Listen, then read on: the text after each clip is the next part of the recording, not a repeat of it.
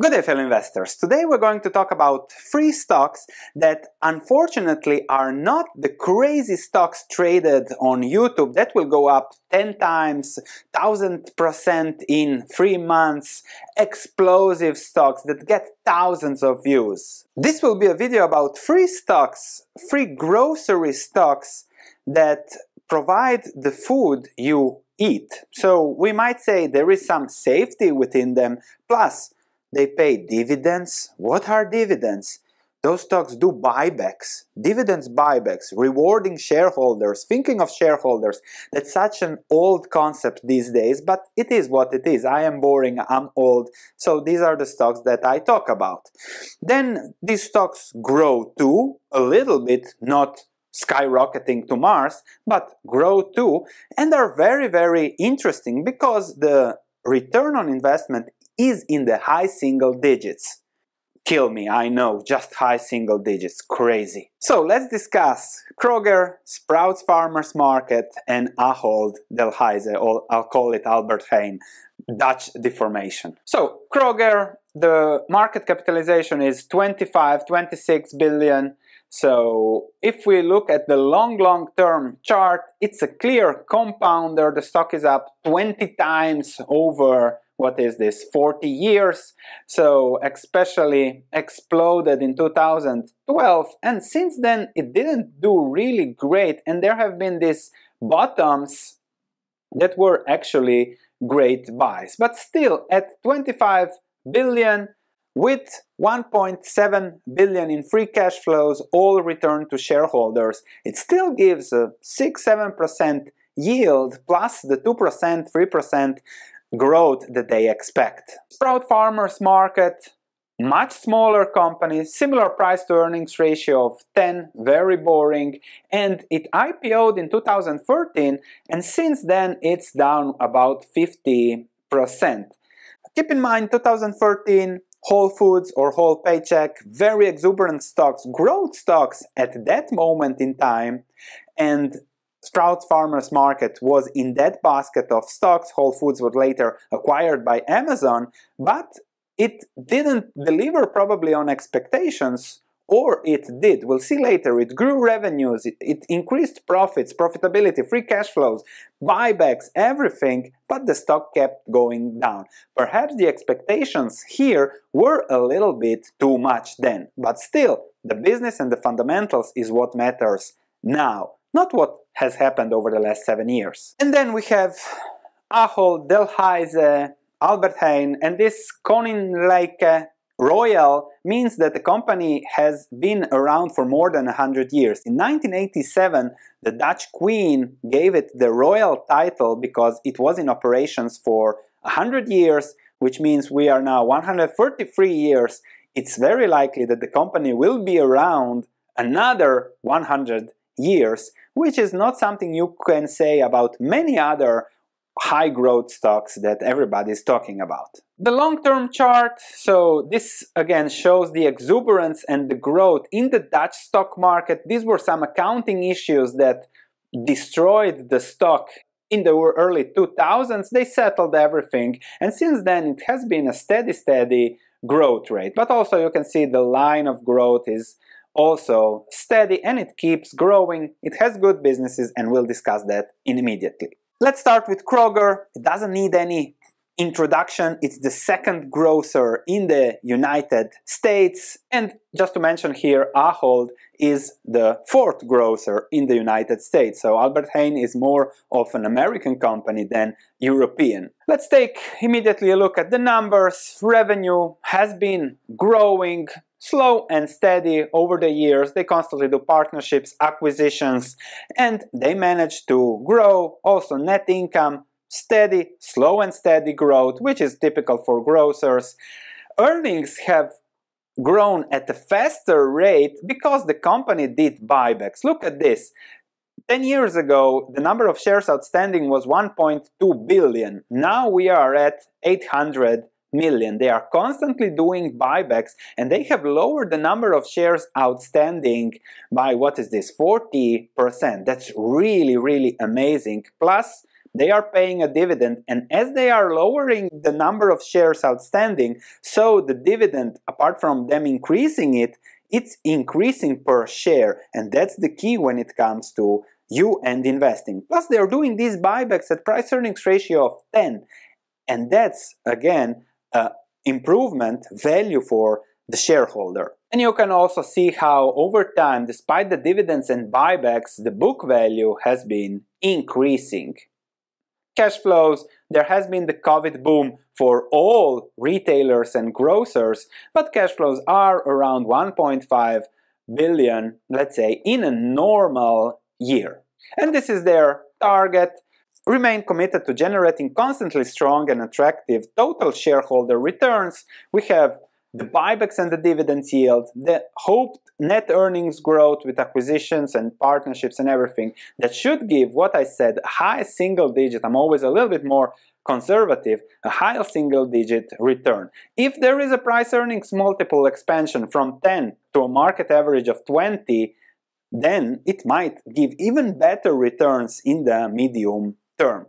Kroger, we got to it, so it has, let's say, a margin of safety. It has a narrow moat because of its scale, so it really can push suppliers on prices, it can scale the data, everything is going online now, really delivering individual products to the customer. So a lot of potential there as they use the technology, the data everybody is talking about to improve their margins. If we go to the financials, let's take these financials as a measurement, 1.7 billion for valuation. Okay, they made more money this year, that's a positive, but I say over the long term, this will be the likely guidance. And they return all the free cash flows to shareholders and then grow organically. If I go to my valuation table, this is the valuation for Kroger. Oh, sorry, 1.5. I think it is 1.7 billion in free cash flows. And let's say I have taken here free cash flows because they are returning those through buybacks and shareholders. So I haven't included here the buyback return and the growth from there. And let's say they grow at the net growth rate of 2% over the years. Half of that is inflation, half of that is organic growth. Discount rate at 10%, terminal multiple 15, and the intrinsic value is 23 billion. If I change the discount rate to 9, 24 billion, 8, 26 billion. So from a current normal perspective, Kroger gives a high single digit 8% investing return. Plus it's a relatively safe business because it's big and uh, for now we still have to eat. I know we are in a data world, you need to be a data company and perhaps in a few years they will feed us data and technology, but for now we still have to eat broccolis and whatever. I don't know how is the situation with you, let me know in the comments below. Oh, by the way, if you want to download this template and play around in the case scenarios, and we have also, you can check all the other stocks, I'll put a link also to the written source here, you can just go to my stock market research platform just go down in the curriculum and I'll put a direct link for this. So you have here the latest analysis and part of this is my taking a look at retailers now. And you can find my conclusion on growers, all the written parts. I have looked also at uh, what has happened in the conference call, so much more detailed than this video. If you're interested, you can always check there. And here you can always download this template and play around with Kroger, SFS, Ahold, and all the other stocks that we have discussed openly in public. Also, check around a little bit what I do. Perhaps there is some value for long-term investing for you here with the companies that I follow.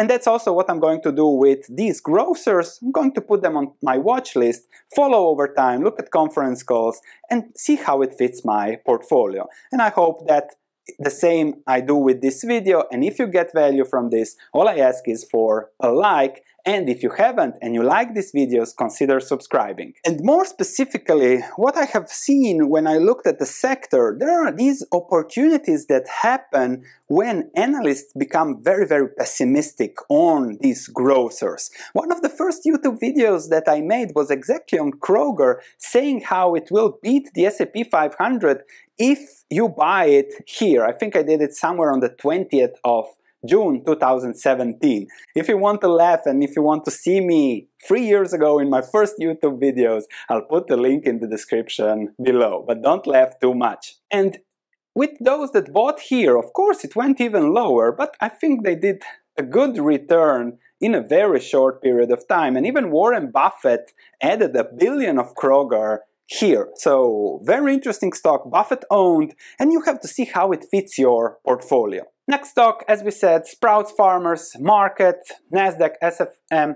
So really bad performance over time, but you'll see the fundamentals are really good, and I think it could be an interesting opportunity here or there. If we look at what they did with the fundamentals, look at this. They IPO'd and they have more than doubled their revenues. Net income exploded over time to 250 million compared to a market cap of 2.5 where it is it's a price earnings ratio again of 10 and they have done incredible buybacks like Kroger perhaps even more the free cash flows has exacerbated now with COVID but we are around 170 to 200 million. They present themselves like whole foods but cheaper or whole paycheck. So they are not whole paycheck they are just cheaper. And okay they are a specialty differentiated grocer and that's also the risk. That's also why the stock goes down because 2013 everyone was exuberant and also me and my wife would constantly go to whole paycheck to leave our whole paycheck in london to buy at whole foods because there you had everything. But over the last seven years all these retailers, others, Ahold, Kroger, saw an opportunity and they filled their stores with specialty items, organic, whatever you wish. So you don't have the need that much to really go to a specialty store like Whole Foods. And that has pushed their margins. Of course, when Lidl sells organic, then Sprout Farmers has to lower the margins. But still, they want to expand EBIT margins grow at low single digit comparable sales. They are still expanding in the country, hope to grow at 10% expanding by building smaller stores. And this is the key. They can increase gross margins, but this is what the analysts are looking. Since the IPO that they timed well, 8%, this was when the stock was double, 7% operating margin, and then the margin was going down to 4%. A big bump now for COVID, but this is what we have to take into account. And they will do good if they can keep it stable. And as I said, this is the problem. This is from Ahold. So you have Vega Favoriten van Nederland. So everywhere you turn around, you can buy vegetarian specialty, whatever now, because the money and the investments go where there is profitability. That's normal for competitive no-moat sector. So keep in mind it's not a moat sector. Tomorrow we'll discuss a stock that I also like and has a moat, a big one. So SFM valuation, I have put here a hundred million in cash flows that they can return to shareholders and left the other 100 million to investments for growth. So for now, let's say 100 million of buybacks that they do, they keep doing that over the long term. And then I have increased the buyback payments in 2026, let's say when their growth might subdue. And on that, I have put terminal multiple of 20, so that's a 5% dividend or buyback yield in 10 years and I get to a valuation of 2.4 billion for a 10% discount rate for SFM. If we compare to the price, yes, SFM is at a 10%, Kroger 8% we said, but there are also risks. If those margins keep contracting and that's the main worry and that's the main reason this is down, if Lidl, the hard discounters, everyone contracts, they forces them to contract the margin in organic and everything, then this might remain ugly for longer. But on the other hand, don't forget that you can download this as shown you before. On the other hand, there is a margin of safety because I think someone would take it out, uh, hedge fund, um, active investors would take it out at around 20 where we are here or 15 so there is a margin of safety if they can improve margins grow or just grow cash flows they're stable margins they hope to grow to double over the next 10 years if that happens then this stock will also double and exuberance might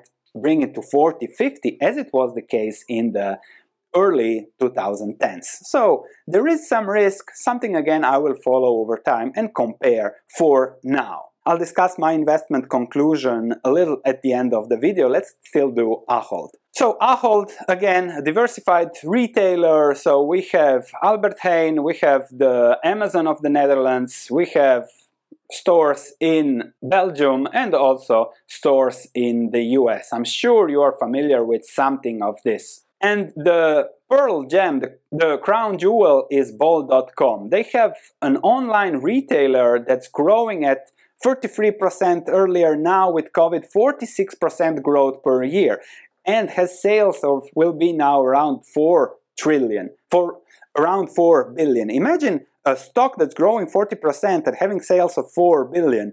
If it would be a separate stock, it would have a price to sales of 10 maybe. And just this would justify the market cap in this growth stocks environment.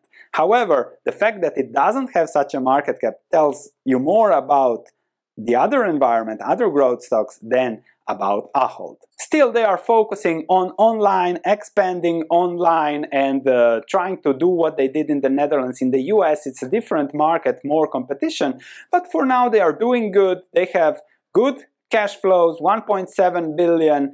So similarly to Kroger this is euros and yes they are exposed to the US you can read more about that if you want to dig deeper in my reports. If we go to Ahold's valuation they are using a billion of this to do buybacks and 700 to for dividends that they are growing. So I have included the complete cash flows in the valuations.